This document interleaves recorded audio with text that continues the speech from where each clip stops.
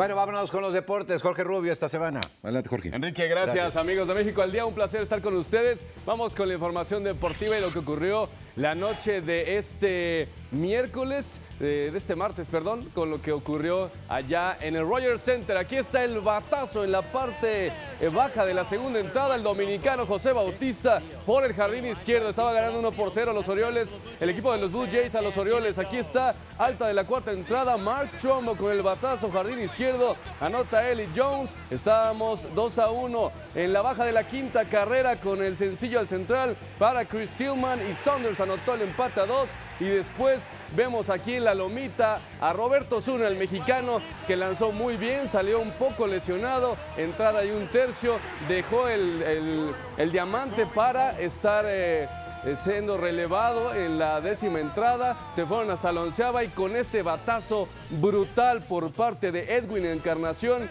la mandó por el izquierdo y le da el triunfo a los Blue Jays de Toronto 5 a 2 sobre los Orioles de Baltimore y ahora se estarán enfrentando a partir del próximo jueves en la serie divisional al equipo de los Rangers de Texas.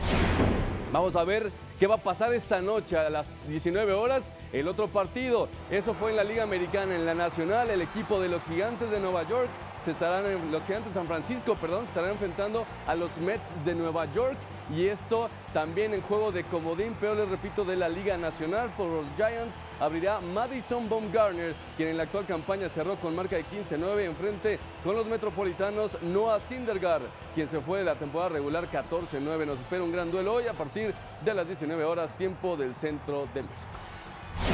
Cambiamos de tema y hablar del boxeo mexicano, de los seis boxeadores que participaron en los Juegos Olímpicos de Río 2016, pues uno de ellos ya decidió irse al profesionalismo y bueno, se trata ni más ni menos que de Joselito Velázquez que llegó a un acuerdo con el manager Frank Espinosa y el promotor Akiko Honda de Taken Promotions. En su carrera como amateur ganó 160 combates de 180 que tuvo en total. Vamos a hablar de Guillermo Ochoa, la liga eh, World Player, nominó al portero mexicano como uno de los jugadores más destacados de la liga española, pero ojo, de la temporada pasada porque en esta le está yendo fatal tomando en cuenta las atajadas que tuvo con el Málaga en los partidos disputados tras la lesión de Kameni. Keylor Navas, Luis Suárez, Diego Godín y el propio Kameni también están nominados para este premio. Vamos ahora con los tiburones rojos del Veracruz que ya pues tras la renuncia de Pablo Marini como entrenador han decidido retomar el camino con las riendas de Carlos Reynoso, toma las riendas de este equipo. Vamos a ver si el maestro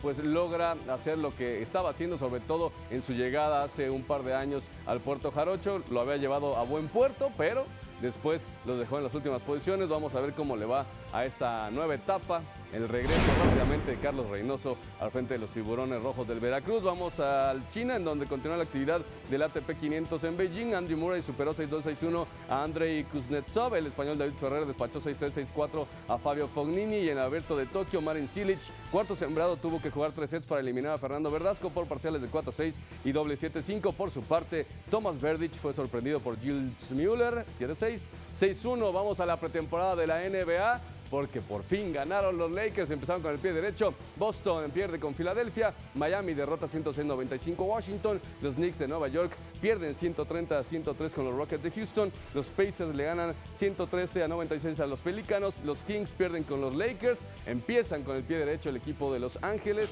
eh, y del otro equipo de Los Ángeles, los Clippers pierden 120 a 75 con los Warriors de Golden State que traen un verdadero trabuco y seguramente estarán en las finales otra vez de la NBA, aunque apenas va empezando esto. Muy bien. Mañana ya está el señor Gaitán, si no se nos quedó en Cancún, mañana ya regresa. Ah, bueno, ok.